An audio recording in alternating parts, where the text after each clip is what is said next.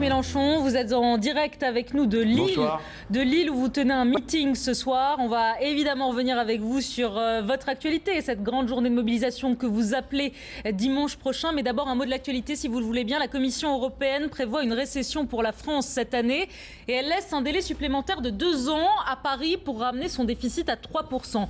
Est-ce que vous êtes satisfait de ce délai que nous donne Bruxelles? Est-ce que vous dites ce soir que c'est une bonne chose ce délai? Et puis quoi encore? Et puis quoi encore? Pour qui se prennent ces gens? Avez-vous lu euh, leur rapport? C'est eux qui organisent par les politiques d'austérité dans toute l'Europe la récession. Et ensuite, c'est eux qui font un rapport en disant ah ben il y a la récession parce que la consommation des ménages est insuffisante. Ce sont des docteurs gribouilles qui prescrivent une chose et son contraire, et en plus maintenant se donnent des airs importants en nous donnant deux ans de plus pour entrer dans les clous que ces illuminés ont, ont.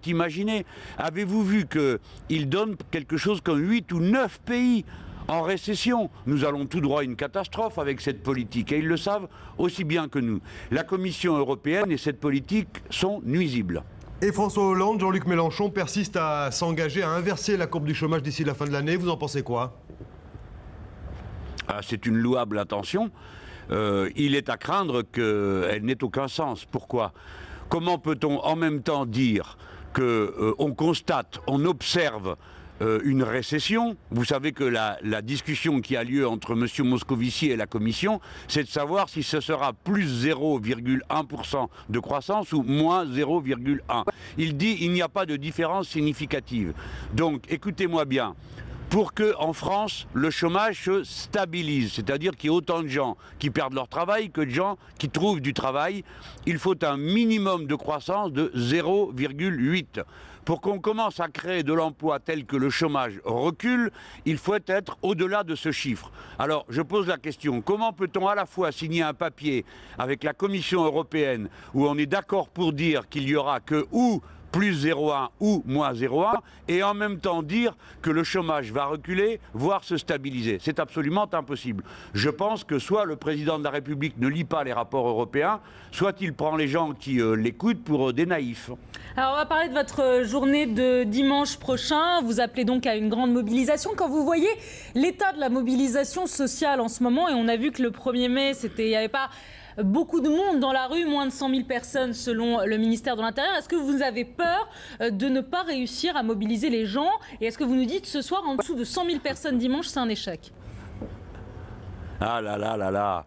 Alors, est-ce que j'ai peur d'échouer? Est-ce que j'annonce un échec? Je vois que vous n'avez pour moi que des pensées positives. Ce n'est pas ma manière de voir les choses. D'abord, commençons par dire que ce n'est pas ma manifestation. C'est celle à laquelle appelle non seulement le Front de gauche, mais comme vous le savez, des gens qui ne sont pas du tout dans la même optique euh, que le Front de gauche, mais qui sont partisans de la Sixième République et de la lutte contre l'austérité et la finance. Je pense à Madame Eva Joly et à tous ceux qui l'entourent, qui a représenté tout de même Europe Écologie Les Verts dans la campagne présidentielle, ou à M. Besancenot, ou à des dizaines euh, d'artistes des différentes branches, ou à plus d'un millier de syndicalistes qui appellent. Donc, il y a un mouvement large qui se construit. Et je vais vous dire ceci.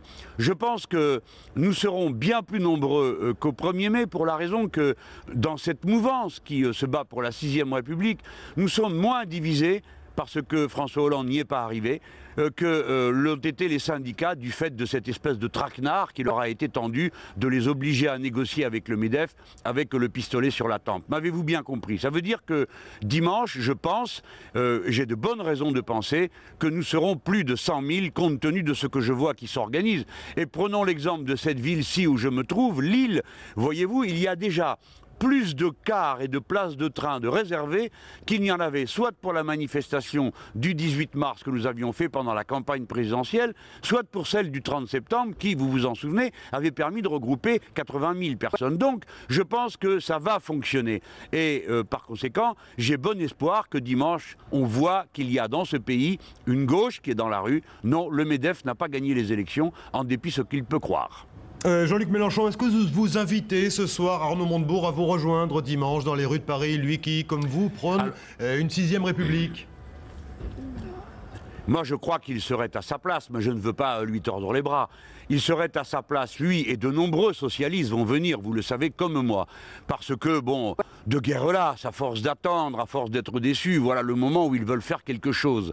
Et nombreux sont ceux qui nous ont fait savoir qu'ils seraient dans la manifestation. Il est clair que Montebourg y aurait sa place, puisqu'il est euh, pour euh, la Sixième République. Lui aussi s'est prononcé contre les politiques d'austérité, vous vous en souvenez, vous vous en étiez fait l'écho, et lui aussi lutte au quotidien contre la finance dans l'économie, du moins le dit-il. Par conséquent, j'estime que cette marche ne m'appartient pas, n'appartient pas au Front de gauche, c'est une marche du peuple lui-même évidemment de toutes les personnalités de gauche qui sont déterminés à dire ça suffit l'austérité, c'est une erreur, c'est un drame vers lequel nous allons. Alors, on ne sait pas si Arnaud Montebourg sera ou non à vos côtés dimanche prochain. Il y en a un qui sera à vos côtés, c'est Olivier Besancenot du NPA. Je ne sais pas si vous avez lu sa déclaration aujourd'hui, Olivier Besancenot, vous, vous concernant. Si Mélenchon va à Matignon, son balai se transformera en plumeau. Vous répondez quoi? Euh, eh ben, s'il le veut bien, il viendra avec moi et on fera ce qu'il faut pour que ce soit pas un plumeau. Que voulez-vous? Tant qu'on n'a pas changé les institutions et tant que l'on croit à la démocratie, il n'y a pas d'autre moyen sinon de dire ah ben, attendons 2017 ou bien 2022 ou bien 2029. Non, c'est maintenant qu'il faut que change la vie pour des millions de gens qui ont besoin que leur vie quotidienne change. Donc je crois qu'Olivier Besancenot peut le comprendre comme moi. Nous n'avons pas d'autre possibilité que de dire que nous sommes capables de gouverner ce pays, que nous avons un programme, que nous avons des idées.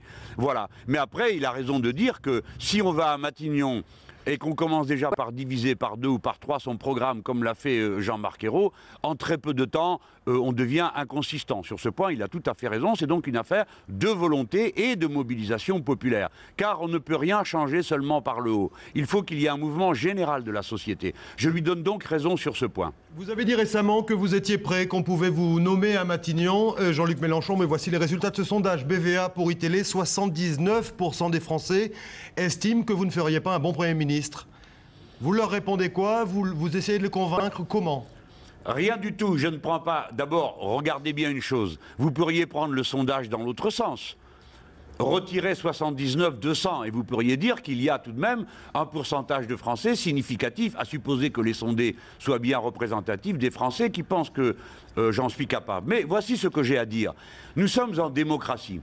La majorité qui se trouve à l'Assemblée nationale aujourd'hui a été élue, quelle que soit l'étiquette, qu'il soit socialiste, qu'il soit Front de gauche, qu'il soit euh, Europe Écologie Les Verts, tous ces députés ont été élus par la même base au deuxième tour. Par conséquent, ils forment une majorité qui pensait faire une politique contre la finance et qui se trouve en train de faire une politique en faveur de la finance. Donc, de qui est la responsabilité? C'est le chef de l'État. C'est lui qui a décidé de placer le point d'équilibre de sa majorité très loin du côté de la droite de son propre parti. Par conséquent, il peut prendre la décision inverse, constatant l'échec absolu de la politique euh, d'austérité qui conduit à une augmentation, une explosion du chômage. Il peut décider qu'il change l'endroit où va se faire la nouvelle majorité. Il y a de quoi faire avec ceux qui se trouvent dans l'Assemblée. Alors que ce soit moi ou un autre euh, qui euh, dirige cette euh, future majorité, ce n'est pas le nom de la personne qui compte, c'est le cap politique qui est donné. Moi j'ai dit je suis, je propose, je me propose d'être Premier ministre, car lorsque je faisais des recommandations, on me disait ah mais oui mais vous, vous ne voulez pas mettre les mains dans le cambouis. Eh bien voyez-vous, oui je me propose d'aller faire ce travail moi-même. Mais qu'on en trouve un autre ou une autre, ça, me conviendrait parfaitement. Du moment qu'on change le cap politique et que l'on commence à régler la grande souffrance qu'endure notre peuple. Jean-Luc Mélenchon, une toute dernière question. Ça vous a pas échappé que c'est euh, les un an de François Hollande à l'Elysée euh, lundi prochain, le lendemain de votre manifestation. Vous lui mettez quoi comme note sur 10 pour sa première année à l'Elysée à François Hollande? Bon, je, plutôt qu'une note, je vais résumer mon point de vue. La période d'essai est terminée, le compte n'y est pas.